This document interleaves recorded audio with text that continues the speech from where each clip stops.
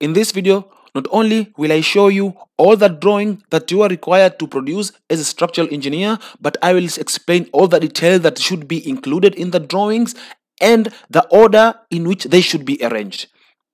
Okay, what's going on guys and welcome back to the channel.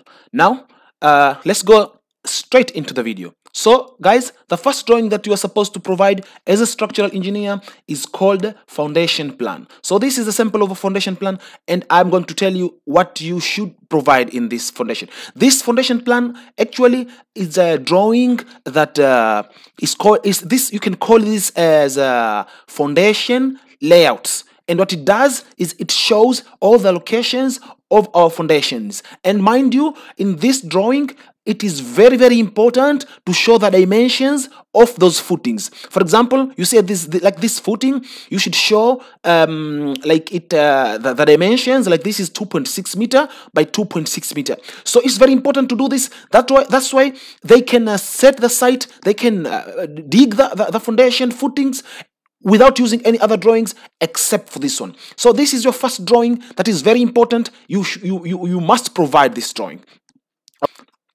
The next drawing guys is that you should provide and in the the second in, in second in order is the footing reinforcement detail. So after after providing that that uh, footing uh, foundation layout now what you need to do is to provide uh, footing reinforcement detail. As you can see here it's called footing reinforcement details. So what does this this this drawing what it does is it shows uh, the, the the section and top view of the footing but but section wise so it's been cut. That's why we see the reinforcements here. And we, we can also we also have another normal section longitudinal section which we can see uh, reinforcement datas and the height the, the, the, the depth of the footing and um, thing like those okay? Now after that the next drawing that we should provide is called uh, is called uh, for this for this job I, that I did uh, we it had um we, we had a two type of footings. We had the footing normal footing and then at, at this location we had a strip footing. That's why uh, there was uh, this uh, type of footing for for strip footing okay? So uh, don't don't mind this. This is also a, details for, uh, for for for footing but this is a strip footing okay? After that guys the, the first drawing that you should provide is uh, called ground beam layouts so what, what does this do? This will show the locations of the ground beams.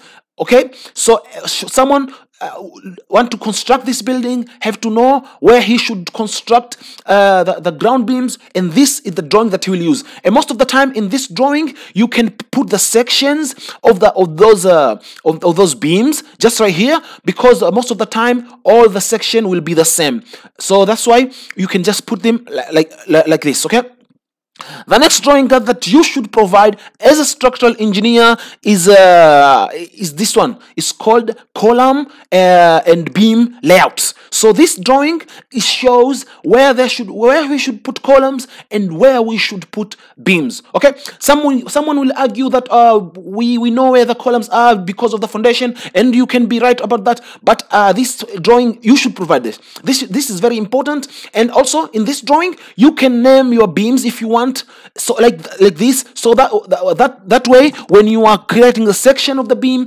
someone will know uh, where where to refer and will know which beam you are talking about after, after this, another drawing that you should provide is called column reinforcement detail. So in this in, in this drawing, you should provide all the columns uh, that you have in your in your building and um, their names and their reinforcement details. And uh, most, most people uh, there there are a lot of approach to do this. Some people will have uh, every floor as a separate section, but uh, according to the standard that we are using, Eurocode and uh, British standard, this is the way we should we should detail okay?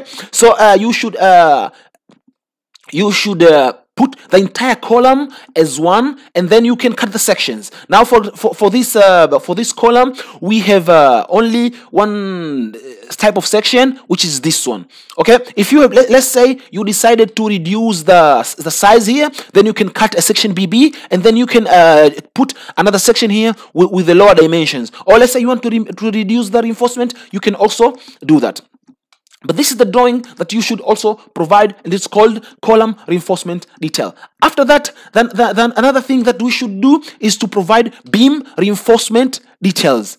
Okay so um let let, let me okay here this uh, this is a beam reinforcement details. This, this this is a detail where you you you can uh, you you, you you show the reinforcement details of your beams okay? And as i told previously there are names that you should consider and these are the names that so if someone look at this one and then he can go back and and, and know which beam that you are talking about okay? Now th there is a two approach of doing this. This job i did it very early long time ago. I'm not doing like this anymore.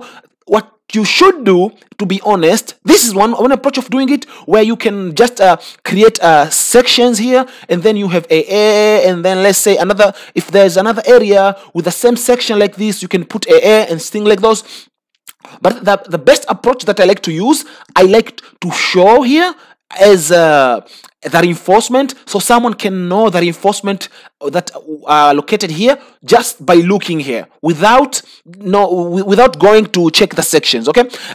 That doesn't mean that you shouldn't provide the section anymore no? The section will always be useful and you should always provide the section but uh, uh, it's very important when, to reduce confusion inside to produce uh, to just to, to, to write the the reinforcement here.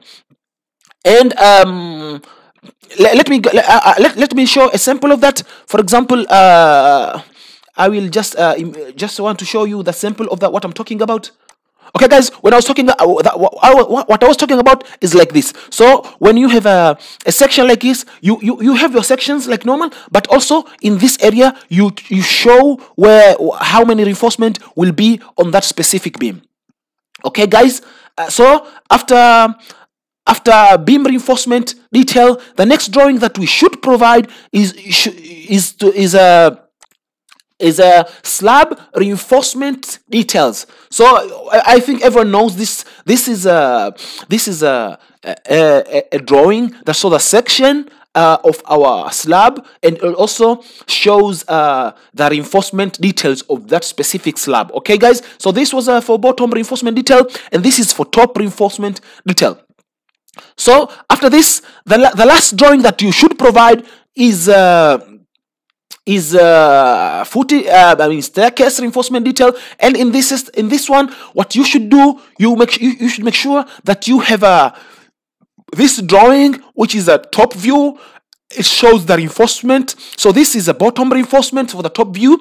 And also and we should also have a longitudinal sections. So this is a longitudinal sections and it also shows the reinforcement details. Guys this is very important. You must produce the, both the, both these drawings the top view drawing and the section drawing.